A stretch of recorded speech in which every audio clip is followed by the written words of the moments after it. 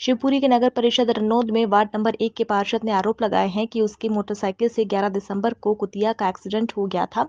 इसके एवज में पच्चीस हज़ार रुपए मांग रहे थे नहीं देने पर प्रधानमंत्री आवास योजना की किस्त में झूठा फंसाने का आरोप मुझ पर लगाया गया है। जानकारी के अनुसार उमेश उपाध्याय, वार्ड नंबर एक, निवासी रनौत ने एसपी को आवेदन देकर बताया कि 11 दिसंबर 2022 को मेरी मोटरसाइकिल से कुतिया का एक्सीडेंट हो गया था, जिसके एवज में पच्चीस हज़ार रुपए की मांग की गई थी, लेकिन मैंने मना कर दिया तो मुझे झूठे केस में फंसाने की धमकी दी गई।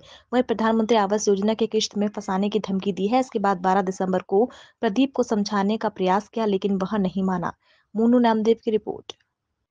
क्या नाम है तुम्हारा? उमेश शर्मा नेगमा से वार्ड क्रमांक एक से।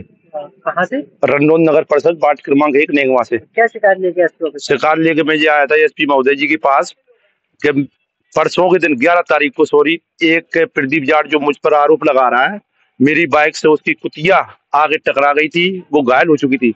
तो उसने एक दिन बाद सुबह ही मुझसे पच्चीस हज़ार रुपये की मांग की। तो मैंने उसको पच्चीस हज़ार रुपये देने से मना किया तो उसने आवास योजना का बहाना लेकर मुझ पर झूठा आरोप लगाया कि उमेश महाराज ने मुझसे रिश्वत मांगी। और जो फ़ोन पे का उसने जो दर्शाया शिवप्री दर्शाया, और सीएम साहब की यहाँ शिकायत करी, फ़ोन पे का मेरा उससे पुराना लेन देन चलता था।